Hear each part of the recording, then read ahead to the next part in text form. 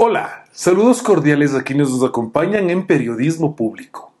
Buscar entender cómo entidades independientes se conectan entre sí, adaptando sus características al medio que les rodea, es el campo de estudio de la modelización de sistemas complejos.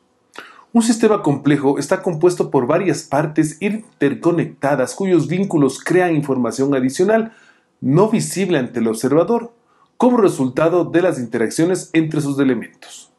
Diferenciar debemos entre un sistema complejo y un sistema complicado. Este último está formado por varias partes, pero las relaciones entre estas no añaden información adicional a las propiedades emergentes del sistema. Desde el 14 de mayo de 2021 hemos sido testigos de la instalación y conformación de las comisiones especiales de la Asamblea Nacional para el periodo 2021-2025. Las y los asambleístas electos, por las acciones que han realizado, han dejado claro cómo transformaron un sistema complejo en un sistema complicado. Nos han mostrado que están aprendiendo a negociar entre ellos para llegar a acuerdos, ya que en 2021 no existe fuerza política alguna que por sí sola sea mayoría.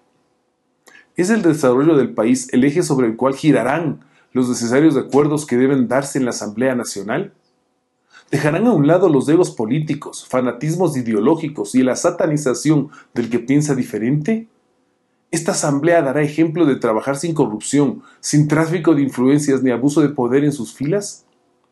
Nos merecemos que las acciones públicas de todas las autoridades electas y designadas sean impolutas y ejemplares, que nos dejen clarísimo a todos que han decidido aportar al país y no servirse de él.